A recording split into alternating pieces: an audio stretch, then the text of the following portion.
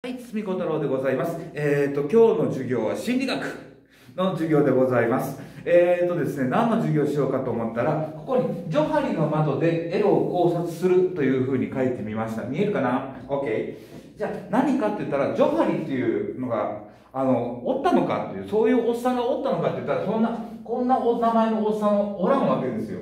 えっ、とね、1955年に発表された、えっ、と、対人関係における気づきのグラフモデルっていうのがあるんだって。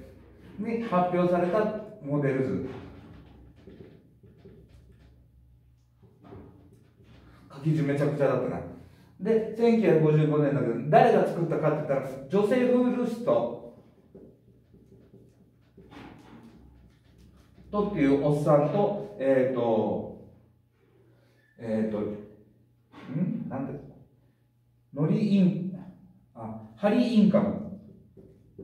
インカムだ。っていうおっさんが2人おって、で、ここの女王の部分と、女王これでハリーっていうんで、まあ、ニアリーイコールとして、えー、藤子不二雄。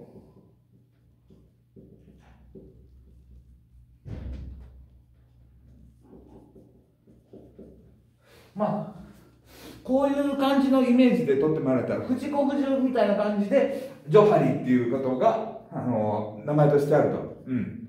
偉いね。ちょっと知的になってきたね。じゃあ何かって言ったら、その対人関係がうまくいくためにはって言ったら、自分のことを知ってます。よく分かってます。で、相手も自分のこと、僕のことをよく分かってますっていうのが一番ベターだよね。うん。例えば、自分が知ってる、堤が知ってる、他人が知ってる、エロい。ね。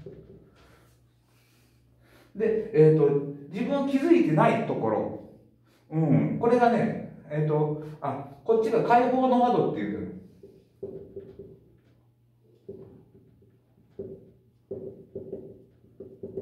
で、ここのところは、自分は気づいてないけども他人が知ってるっていうところで、これは盲点の窓。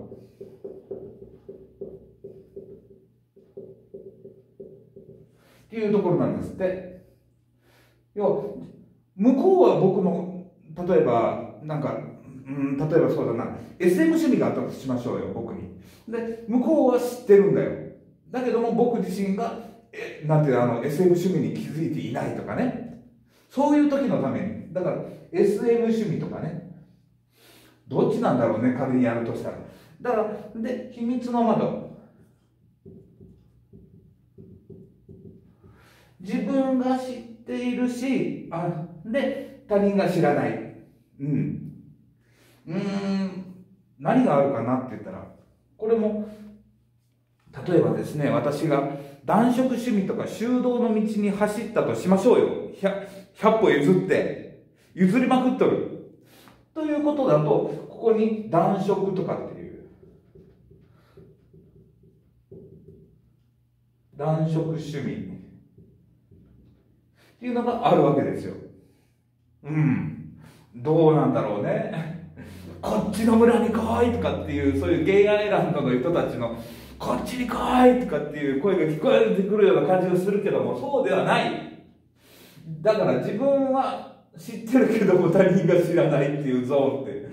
意外と、だから、なんだ、これ秘密だよね。本当に言いたくないことだよね。うん。例えば、えっと、スカトロとかね。とか、あと、おパイパン。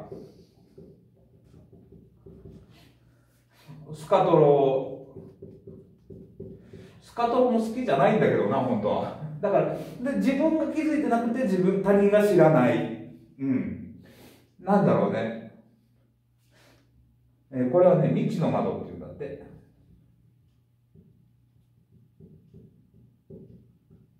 そりゃそうだ。誰も知らないんだもん。わかんないよねっていう話になるわけですよ。じゃあ、どう、どこをどうすればいいのっていうことになるわけですよ。うん。簡単簡単。その自分が知っているゾーンっていうのとか、こっちの面積を広げて、こっちの面積もこっちに拡大すると。要は、自分の知ってる相手も私のことをよく分かってくれてますっていうそういう関係性っていうのを構築するっていうのがベターなんですよ。っていうことをわざわざこのジョセフっていうおっさんとハリー・インカムっていうおっさんが2人がかりで書いたのがこれ。であるっていうことなんで。だから自分が知ってる他人が知ってるこのエロいっていう部分はあのやっぱりキーワードとしてあるのかなっていう。そういうところでございます。だから相手のことをよく知るためには何が必要かって言ったら相手のことをよく聞くっていうことが必要なんですよね。で自分のことを知ってもらうためにはって言ったら自分のことをもっと相手に伝えるっていう作業が必要ですよねっていう。だからよく聞きよく喋ろうっていうそういうのが結論としておおなんかすごい授業。これ本当の授業みたいな感じになってきたね。うん。ということではい。普通の授業になっちゃったのでまた次の授業でお会いしましょう。シャバドゥビアバシャバドゥビアダバダバッタ